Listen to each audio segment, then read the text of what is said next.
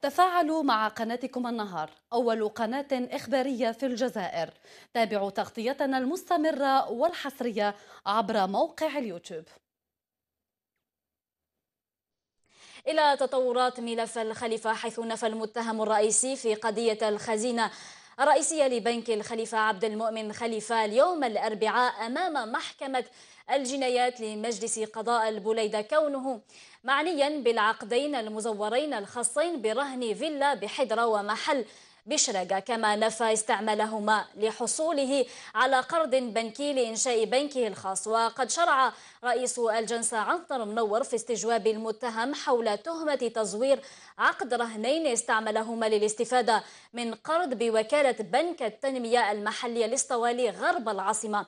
فرد أن العقدين لا يحملان توقيعه وأن المواصفات التي يحملانها بخصوص الفيلا والمحل ليست مطابقة لمواصفات منزله العائلي ومحل صيدليتها. يقول وأضاف أن العقدين محل التهمة لا يعنيان رهن الاستفادة من قروض لصالح بنكه وإنما لصالح مؤسسة لبيع الحديد بالجملة وهو بالتالي غير معني بهما.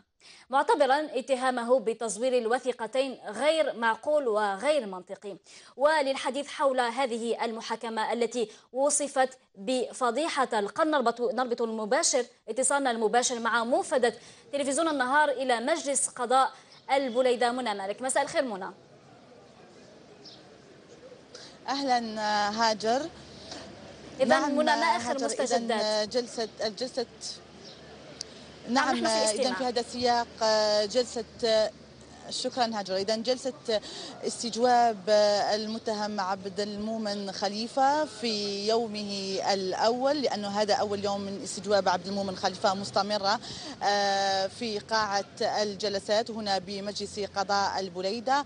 الجديد هاجر هو أنه داخل الجلسة يدور استجواب بين رئيس محكمة جنايات مجلس قضاء البليدة والمتهم عبد المؤمن خليفة حيث أراد الرئيس مجلس أو رئيس محكمة جناية البليدة يعني معرفة سبب هروب وفرار عبد المؤمن خليفة إلى الخارج ومغادرته التراب الوطني. عوض بقائه هنا في أرض الوطن بالجزائر لمواجهة التهم لمواجهة الانهيار إمبراطورية آل خليفة.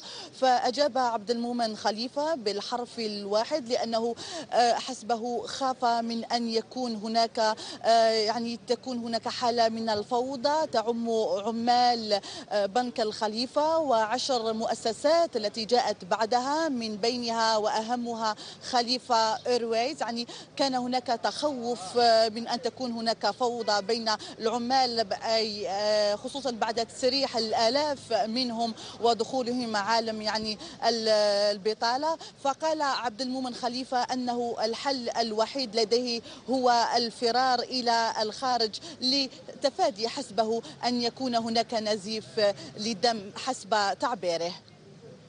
منى مالك موفدة تلفزيون النهار إلى مجلس قضاء البليدة. شكرا جزيلا لك.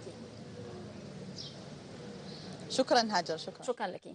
اذا مشاهدينا نبقى في ذات السياق حيث أكد المحامي مقران إيه العرب دفاع المتهم عبد المؤمن خليفة أن هذا الأخير يتمتع بقرينة البراءة إلى غاية إثبات العكس. التفاصيل مع وليد بهراوة. في القضية الآن قضية القيل والقال ومؤمن خليفة ككل إنسان متهم قرينة البراءة مفترضة من حقه أن يجيب كما يشاء ومن حقه أن ينكر. هذه هي أصول المرافعات والمحاكمة الجنائية في كل بلدان العالم.